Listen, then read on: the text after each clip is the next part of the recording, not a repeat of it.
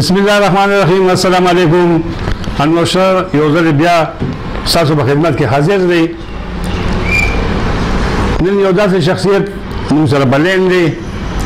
چې هغه تعارف محتاج نه دی دا دې تعلق د مردان یو سیاسي خاندان سره دی د دوی نامه ده ډاکټر رفعت سردار ډاکټر رفعت سردار پی ایچ ډي هم کړې ده او د پېښور یونیورسټۍ اسسټنټ پروفیسور هم پاتې شوې ده دوه کالې په دیر کې د هومن رایټس د خواتینو خدمتونه کړي دي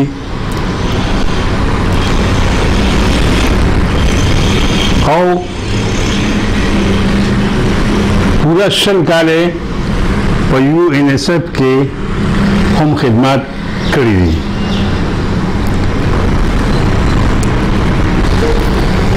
دا ټول هر څه پروان دي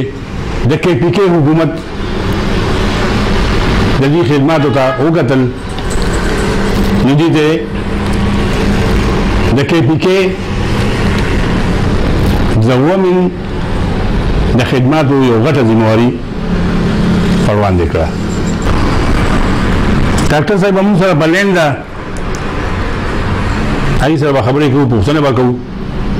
د ټولو آگاهي به ورکوو عوامو ته ډاکټر صاحب السلام علیکم وعلیکم السلام ډاکټر صاحب موږ ته د زراینه معلومه شوې وه چې د کې پي حکومت تاسو ته ډېره غټه ذمه واري درکړې ده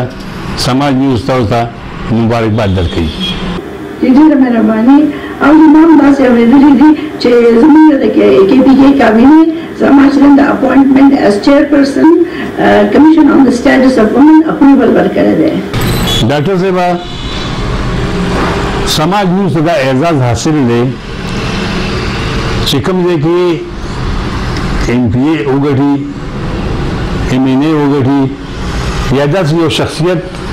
را وړاندې شي نو سماج نیوز نماینده د ټولو نه مخکې د هغې په خدمت کې حاضرېږي د هغې انټرویو کوي او د هغې ټول ویژن د هغې سوچ عوام ته په ډاګه کوي دا د الله په سماج نیوز باندې کرم دی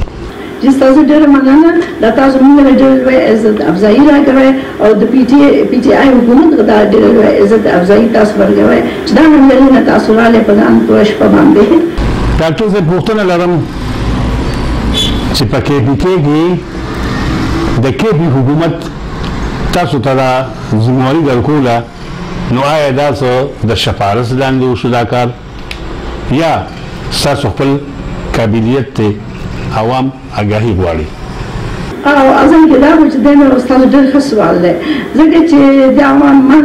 نور خلکو هم ډېر دا سوال کړی دی نو زما دا چې چې زه چې کله په پېښور یونیورسټي کې از سټوډنټ وم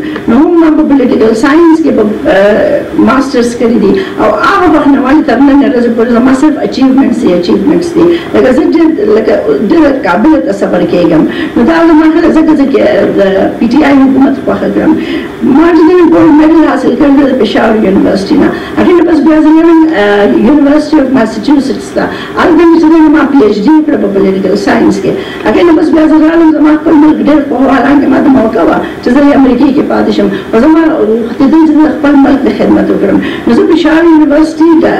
هایر کړم ایز اسسټنټ پروفیسر هغه چې دی نو ما یو لږه موده هغه کار وکړو په هغې نه پس بس دا وار افغان وار شروع شو او زه چونکې چې زه فارن کوالیفاید وم نو انټرنیشنل ایجنسیز غوښتېدل چې زه د هغې سره کار وکړم نو زه بیا لاړم هغلته چې دی نو دیر کې ما یو یونیورسي کې کار وکړ یو دوه کاله او هلته بلکل زما پیورلی کار چې کوم هغه وومن رایټس باندې او وومن ډیولپمنټ باندې نو لکه دا زه ورو ورو ویت ټایم ډیولپ کېدم ایز وومن رایټس سپیشلیسټ ایز وومن ډیولپمنټ سپیشلیسټ هغې نه پس چې ما هغې چې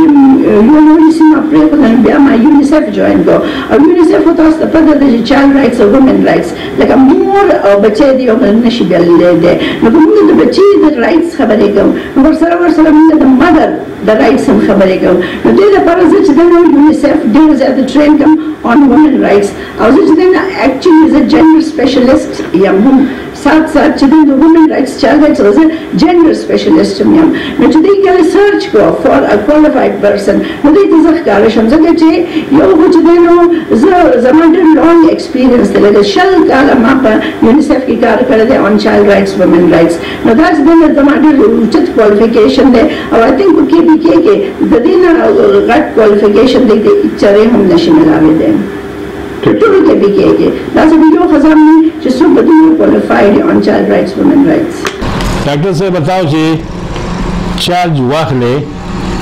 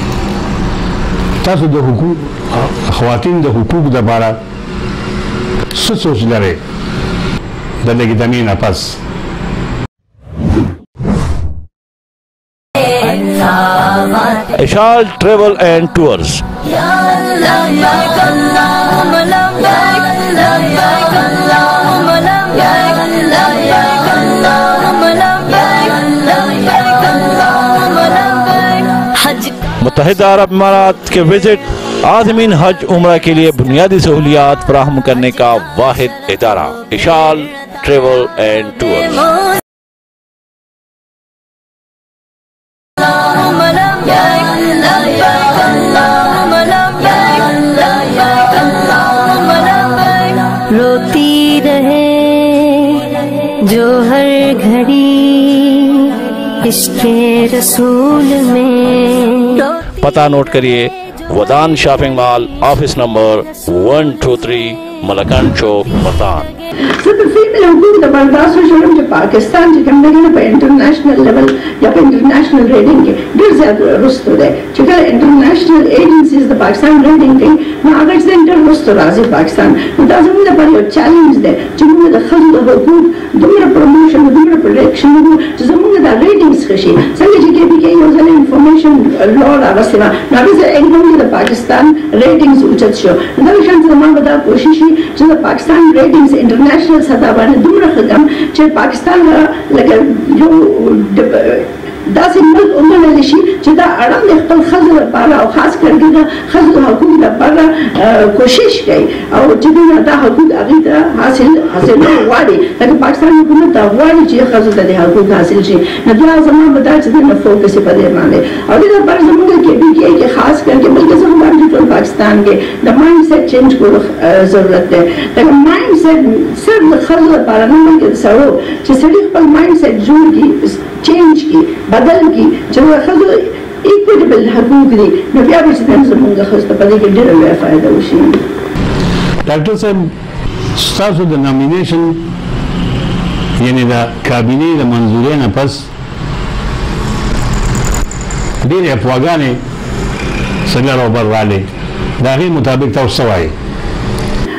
اصل کې هغه هیڅ دنه زما مخالفت نه دی شوی هغه دا وایي چې دا چې دنه د ایم پی ایس د پی ټی آی ایم پی ایس دی او دا هغه جبر دی نو ځکه چې دنه دا په دې پوسټ باندې رااله نو هغه زما سره یو کوالیفیکیشن ګوري هغه زما دا ټریک ریکارډ اف 25 ایئرز هغه نه ګوري چې ما څومره مهنت کړې ده خزه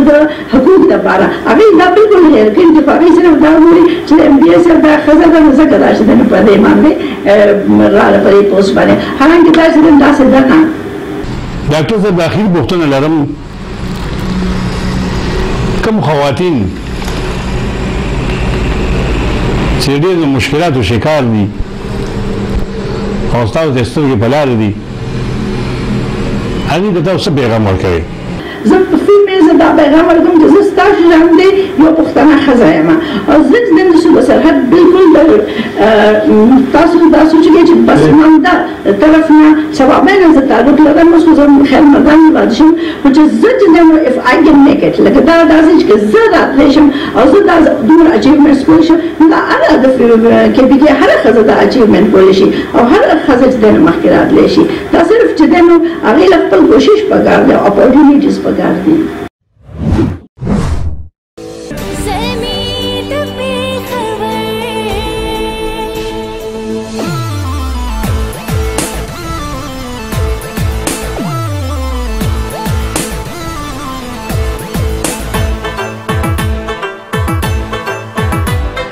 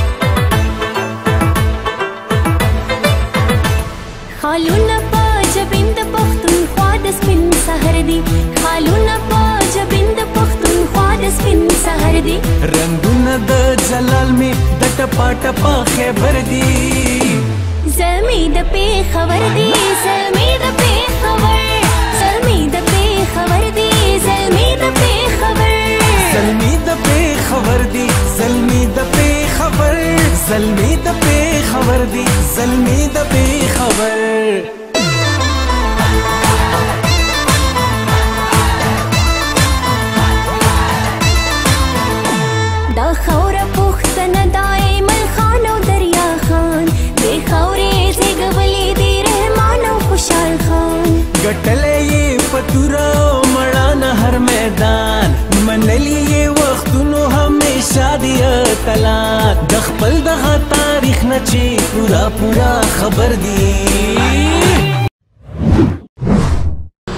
ډیره ډیره مننه مینوالو دا و ډاکټر رفعت سردار